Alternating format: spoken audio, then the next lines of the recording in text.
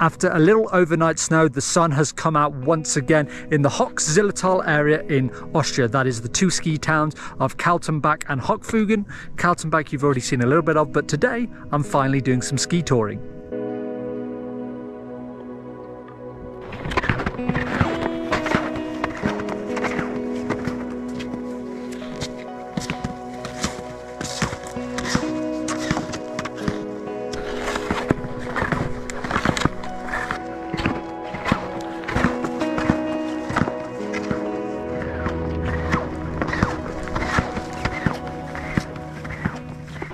I've just passed the second marker.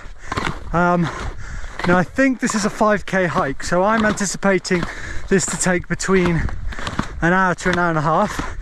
It was a big night last night uh, with the Piste Head guys at the end of season closing in Söll, but I'm definitely taking a few breaks here, taking in the sights and sounds and taking in some big deep breaths.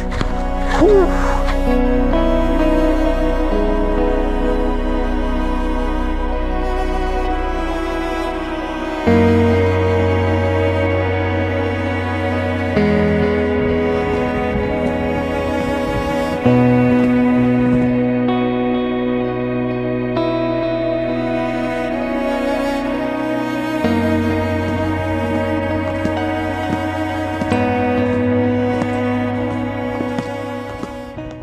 For those of you wondering, why am I spending all day walking uphill on a set of skis when I can just get the gondola? There's two reasons mainly.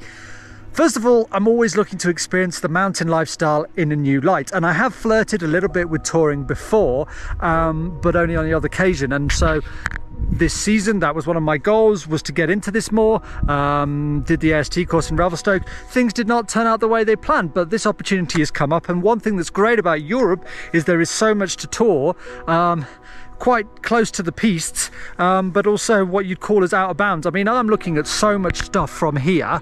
Check this out. All of that is tourable. Now, that is not patrolled. For any one of you on sort of the America uh, Canadian side of the Atlantic wondering if that's all patrolled. It's not. Uh, you'd more than likely need a guide to go up to there. So I'm not doing that. I'm, I'm just on a cat track actually to the side of the piste today. Secondly, it is fantastic for your physical and your mental well-being to get outdoors. Um, like I said, it was a little bit rough this morning, but uh, I've sweated that off now. This would be even greater if I was with friends. Uh, sadly not to be right now, but enjoying it boy is it a workout.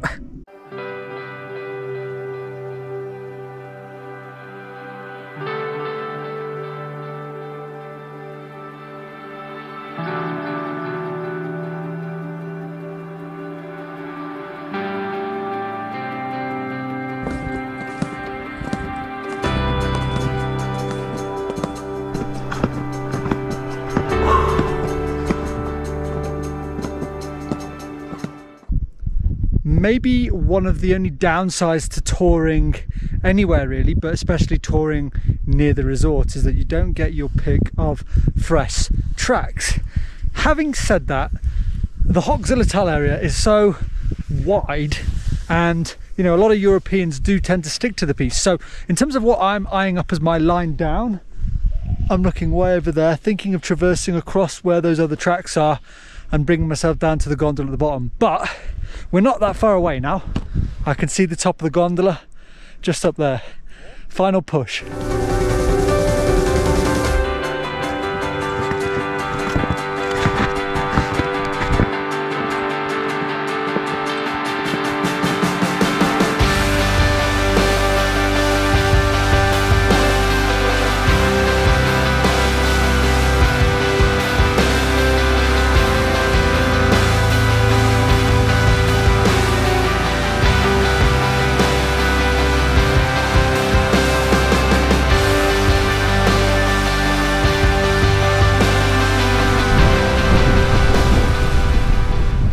These two lovely caricatures to greet me at the top and let me know that I've finally made it.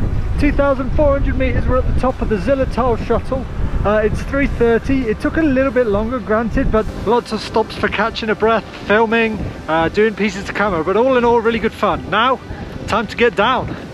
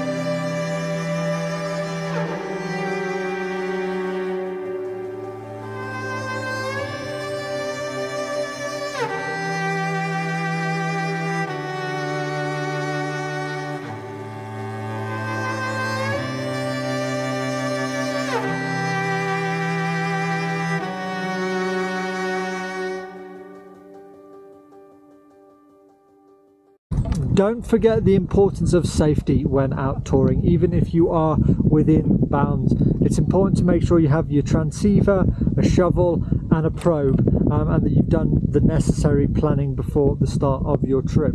Um, I would highly recommend that anyone who's looking to get into touring or into backcountry skiing to do the necessary uh, safety uh, training just to get familiar and understand uh, what is at play when you go into this area. But final thoughts for me I'm knackered. That was a really challenging day, but highly rewarding. Um, couldn't have asked for better conditions. I hope you enjoyed uh, the the slightly different uh, uh, ski experience than I'd normally show you. Um, I'd love to do more of these in the future. Uh, let me know your thoughts on the video. Uh, did you like the drone shots? Put them in the comments below. Uh, if you haven't subscribed, please, please do make sure you hit that button and hit the notification bell so you can keep up to date with all of these future videos. Thanks very much, guys, and I'll see you in the next one.